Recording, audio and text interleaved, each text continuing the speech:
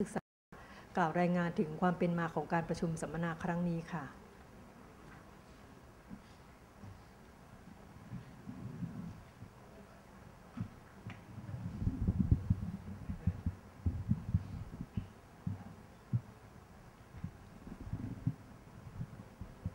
เรียนท่านเลขาธิการคณะกรรมการการอุดมศึกษา ท่านดรสุพัฒน์จำปาทอง ท่านผู้บริหารสถาบันอุดมศึกษา และผู้เข้าร่วมสัมมนาทุกท่านครับ ในนามของสำนักส่งเสริมและพัฒนาศักยภาพนักศึกษา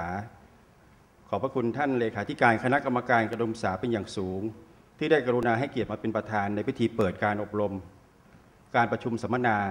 การคัดเลือกนักศึกษาที่เพื่อเข้ารับรางวัลพระราชทานระดับอุดมศึกษาในวันนี้สำนักงานคณะกรรมการการศึกษา ซึ่งเป็นหน่วยงานกลาง ที่รับผิดชอบการดำเนินงานโครงการคัดเลือกนักศึกษา เพื่อรับรางวัลพระราชทานระดับอุดมศึกษา ตามนโยบายของกระทรวงสาธารณการ ได้ตระหนักถึงความสำคัญของการส่งเสริม การพัฒนาทักษะความสามารถและรูปแบบการจัดกิจกรรม เพื่อพัฒนานักศึกษาให้มีความสมบูรณ์ ทั้งทางด้านร่างกายจิตใจสติปัญญา มีความรู้คู่คุณธรรม และสามารถอยู่ในสังคมได้อย่างเป็นสุข รวมทั้งมีศักยภาพที่สามารถแข่งขันได้ในระดับนานาชาติ โดยโครงการนี้นอกจากจะเป็นการส่งเสริมสนับสนุน และเชิดชูเกียรติของนักศึกษาที่รับการคัดเลือกให้เป็นต้นแบบของนักศึกษาที่มีความเพียรพยายามในการศึกษาเล่าเรียน การเป็นแบบอย่างที่ดีในความประพฤติ คุณธรรมจริยธรรมความเสียสละจิตอาสา และมีผลงานดีเด่น เป็นที่ประจักษ์ต่อสังคมและส่วนรวมแล้ว รางวัลพระราชทานยังเป็นสิ่งที่ทรงคุณค่า และเป็นเกียรติต่อผู้รับอย่างสูงสุด คุณความดีจะถูกประกาศ และเผยแพร่ไปยังสาธารณชนทั่วไป ดังนั้นภารกิจที่สำคัญยิ่งสำนักงานคณะกรรมการการศึกษาจึงจำเป็นต้องตระหนักถึงความสำคัญในการคัดเลือกและประเมินนักศึกษารางวัลพระราชทานระดับอุดมศึกษา ในทุกขั้นตอนของการดำเนินงาน ซึ่งต้องทำด้วยความละเอียดรอบคอบ และให้ความสำคัญกับการทำงานของผู้ที่มีส่วนเกี่ยวข้อง ทั้งในส่วนของคณะกรรมการประเมินและคัดเลือก ในระดับสถาบันอุดมศึกษา คณะอนุกรรมการประเมินและคัดเลือกนักศึกษาเพื่อรับรางวัลพระราชทาระดับภูมิภาคต่างๆ และคณะอนุกรรมการประเมินและคัดเลือกนักศึกษาพิการ ซึ่งจำเป็นอย่างยิ่งที่ทุกฝ่ายที่เกี่ยวข้องจะต้องใช้ความรู้ความสามารถ ที่มีอย่างเต็มกำลังในการดำเนินงาน โครงการให้ประสบความสำเร็จอย่างมีประสิทธิภาพ งานนักศึกษางานคัดเลือกนักศึกษาเพื่อรับรางวัลพระราชทาระดับอุดมศึกษาสำนักงานคณะกรรมการการอุดมศึกษาได้เริ่มดำเนินโครงการตั้งแต่ปีการศึกษา 2547 จนถึงปีการศึกษา 2559 มีนักศึกษาที่รับรางวัลพระราชทาจำนวน 218 คน และนักศึกษาพิการที่รับรางวัลพระราชทาจำนวน 23 คน รวมทั้งสิ้น 241 คน เพื่อให้การดำเนินงานการคัดเลือกนักศึกษาเพื่อรับรางวัลพระราชทาระดับอุดมศึกษา มีประสิทธิภาพและถูกต้องเป็นไปตามประกาศหลักเกณฑ์ และแนวทางในการคัดเลือกนักศึกษา เพื่อรับรางวัลพระราชทาระดับอุดมศึกษาสำนักงานคณะกรรมการการอุดมศึกษาจึงได้จัดการประชุมสัมมนาครั้งนี้ขึ้น โดยมีวัตถุประสงค์ดังนี้คือ ข้อหนึ่งเพื่อชี้แจงและสร้างความเข้าใจในหลักเกณฑ์ และแนวทางการประเมิน และคัดเลือกนักศึกษาเพื่อรับรางวัลพระราชทาระดับอุดมศึกษา ข้อ 2 เพื่อส่งเสริมสนับสนุนให้สถาบันศึกษาคัดเลือกนักศึกษา เข้าร่วมโครงการรวมทั้งสามารถส่งผลงานของนักศึกษาที่เข้ารับการประเมิน ผ่านระบบคอมพิวเตอร์ได้อย่างถูกต้องและสมบูรณ์ ประการสุดท้ายจัดประชุมกลุ่มย่อยของสถาบันศึกษาระดับเขตภูมิภาค เพื่อชี้แจงการดำเนินการ ส่งข้อมูลของนักศึกษาเข้าร่วมโครงการคัดเลือกนักศึกษาเพื่อรับรางวัลพระราชทาน โดยประธานคณะอนุกรรมการประเมินระดับเขตภูมิภาค ในการประชุมสัมมนาครั้งนี้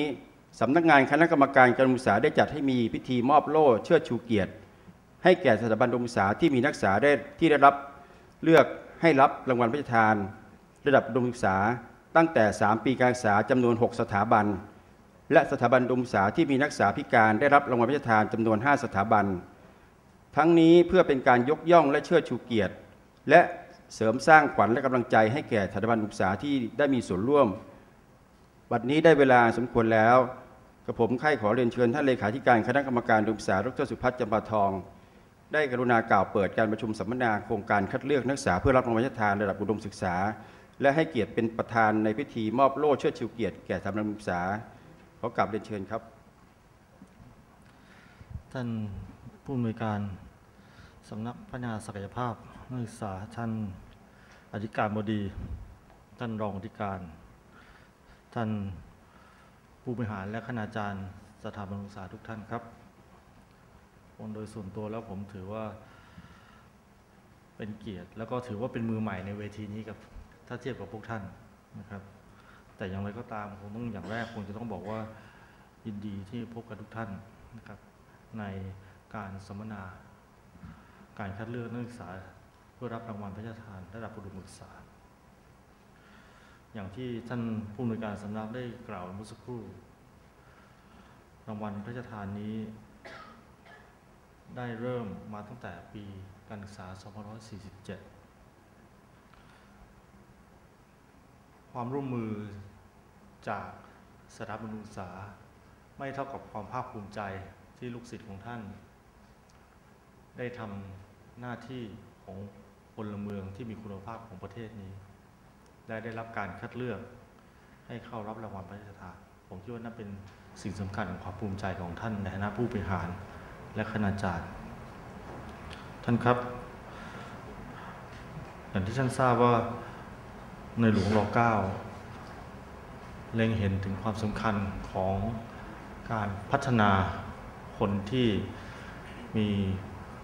ไม่เพียงเฉพาะความสามารถด้านวิชาการ แต่อยากจะเห็นเยาวชนของเรา เป็นส่วนหนึ่งของคนที่เป็นพลเมืองที่มีคุณภาพในอนาคต หลักเกณฑ์อาจจะเป็นส่วนหนึ่งของการช่องทางการทำงานในการเลือกคนดีๆ ลูกศิษย์ดีๆ ลูกศิษย์ที่มีคุณธรรมและความสามารถควบคู่กัน แต่หัวใจสำคัญสิ่งที่เราอยากจะเห็นก็คือ การส่งเสริม ให้กับนักศึกษา ที่มีผลการเรียนอยู่ในระดับดี มีการพัฒนาตนเองทั้งในด้านจริยธรรมคุณธรรมนี่คงเป็นหัวใจสำคัญ การคัดเลือกนักศึกษาเพื่อรับรางวัลพระราชทานนั้น ถึงแม้เราอาจจะแบ่งเป็นสองกลุ่ม ที่เป็นนักศึกษาทั่วไป แล้วก็ตัวนักศึกษาพิการ แต่คุณค่าของรางวัลนนั้นถือว่าสูงค่ายิ่งอย่างที่ท่านผู้การสำนักคุยเมื่อสักครู่รางวัลพระทานนั้นจะติดตัวไปจนชีวิตของน้องหรือลูกศิษย์ของท่านจะหาไม่ การคัดเลือกคนเข้าสู่ระบบ เข้าสู่การรับรางวัล จึงเป็นสิ่งที่มีความสำคัญ โดย ปราศจากข้อกังขาครับคุณลักษณะต่างๆของ ผู้เรียนที่ท่านจะได้คุยกันต่อในช่วงเวลาต่อจากนี้จะเป็นจุดสำคัญ ทั้งในแง่ของการตีความ การเลือกที่จะใช้ดุลพินิจของท่านในฐานะของผู้บริหารสถาบันนะครับ ในการนำเสนออบุคลิกภาพ และ และความประพฤติของผู้เรียนของท่าน อย่างที่นำเรียนนะครับว่าเกียรติประวัติของการได้รับรางวัลนนี้ จะเป็นส่วนหนึ่งของชีวิตเขาไปตลอดชีวิต แล้วก็เป็นความภูมิใจของท่านในฐานะของอาจารย์คนหนึ่ง ผมขอบคุณสถาบันศึกษาทุกแห่งนะครับที่ได้กรุณาให้ความอนุเคราะห์กับสำนักงานคณะกรรมการการลงศึกษานะครับในทุกโครงการไม่เพียงเฉพาะโครงการนี้ ขอบคุณท่านคณาจารย์ทุกท่านที่กรุณาสละเวลาเข้าร่วมการสัมมนาในวันนี้นะครับแล้วคงจะต้องขอแสดงความยินดีกับสถาบันที่มีลูกศิษย์นะครับได้รับรางวัล และตัวของท่านเองสามารถจะคัดเลือกลูกศิษย์ที่มีความสามารถมีความประพฤติดี เป็นความภาคภูมิใจของสถาบันเช่นเดียวกันในการสร้าง คนที่จะเป็นพลเมืองที่มีคุณภาพของประเทศในอนาคตครับวันนี้ได้เวลาสมควรแล้วผมขออวยพรให้การสัมมนาในวันนี้ประสบความสำเร็จทุกประการนะครับ แล้วก็ขอให้ทุกท่านมีความสุข แล้วก็เดินทางกลับโดยสวัสดิภาพนะครับ ขอบคุณครับ ค่ะกราบขอบพระคุณท่านเลขาธิการคณะกรรมการการอุดมศึกษา ดรสุพัฒน์จำปาทองเป็นอย่างสูงค่ะ ขออนุญาตเรียนเชิญท่านบนเวทีสักครู่นะคะ จะเรียนเชิญท่านให้เกียรติเป็นประธานในการมอบรางวัลสำหรับสถาบันอุดมศึกษาที่มีนักศึกษาเข้ารับรางวัลพระราชทาน 3 ปีการศึกษาขึ้นไปค่ะ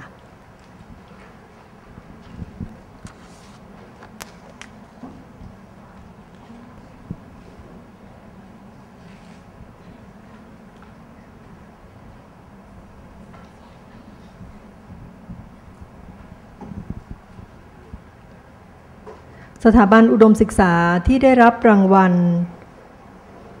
ในวันนี้นะคะคือสถาบันที่มีนักศึกษา ได้รับรางวัลพระราชทาน 3 ปีการศึกษาขึ้นไป 6 แห่งในช่วงแรกนะคะ ซึ่งเราเริ่มคัดเลือกตั้งแต่ปี 2547 แห่งแรกค่ะ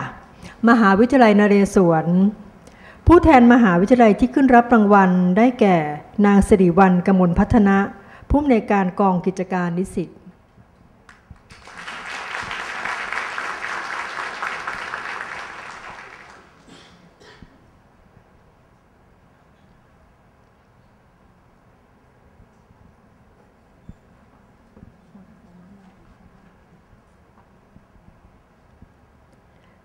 ลำดับต่อไป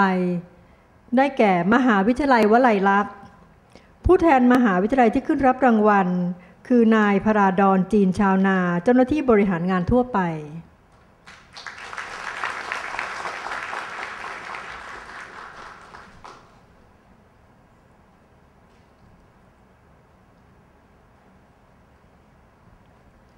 ลำดับต่อไป มหาวิทยาลัยราชพัฒอุตรดิตถ์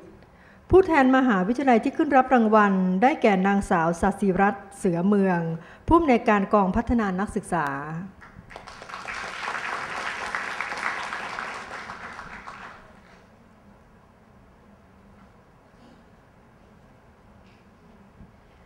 ลำดับที่ 4 มหาวิทยาลัยราชพัฒชัยภูมิ ผู้แทนมหาวิทยาลัยที่ขึ้นรับรางวัล ได้แก่นางสาว คุณัญญาคงนาวัง ผู้ช่วยอธิการบดีฝ่ายกิจการนักศึกษา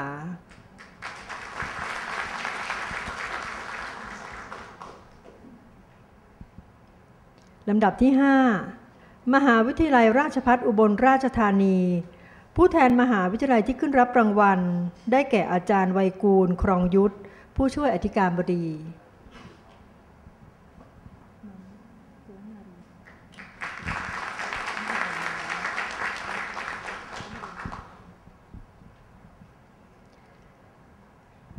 ค่ะสถาบันอุดมศึกษาที่มีนักศึกษาพิการ ได้รับการคัดเลือกได้รับรางวัลพระราชทาน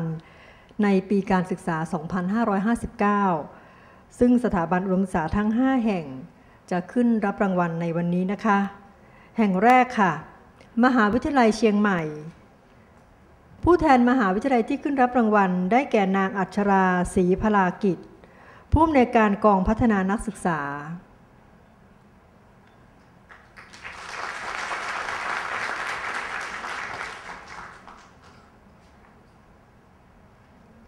ลำดับที่สองมหาวิทยาลัยเทคโนโลยีพระจอมเกล้าธนบุรี ผู้แทนมหาวิทยาลัยที่ขึ้นรับรางวัล ได้แก่ ดร บุตรสเกต อินทรปาสุนผู้ช่วยอธิการบดีฝ่ายพัฒนานักศึกษา ลำดับ 3 มหาวิทยาลัยมหิดล ผู้แทนมหาวิทยาลัยที่ขึ้นรับรางวัล ได้แก่ผู้ช่วยผู้ช่วยศาสตราจารย์ชัยวัฒน์วงอาสา ที่ปรึกษาด้านกิจการนักศึกษา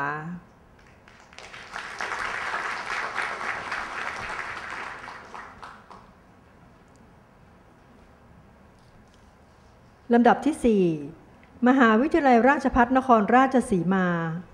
ผู้แทนมหาวิทยาลัยที่ขึ้นรับรางวัล ได้แก่ผู้ช่วยศาสตราจารย์ ดรทวัตตราชู ผู้อำนวยการกองพัฒนานักศึกษา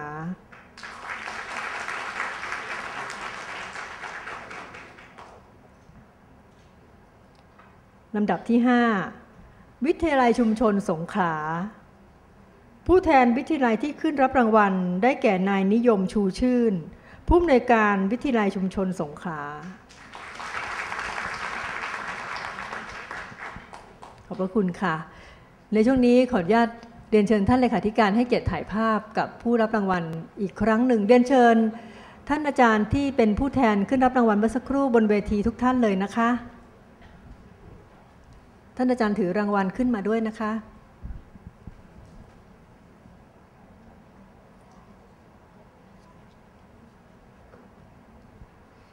ขอแสดงความยินดีกับความสำเร็จของมหาวิทยาลัยและความสำเร็จของท่านอาจารย์นะคะ เพราะนักศึกษาที่ได้รับรางวัล น้องทุกคนจะได้รับโล่เชิดชูเกียรติ ได้รับเกียรติบัตรและได้รับเงินรางวัลด้วย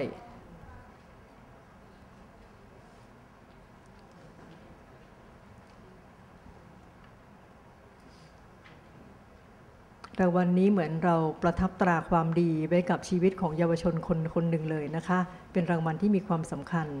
กราบขอบพระคุณท่านเลขาธิการคณะกรรมการการอุดมศึกษาเป็นอย่างสูงค่ะ ขอบพระคุณท่านอาจารย์ทุกท่านด้วยค่ะ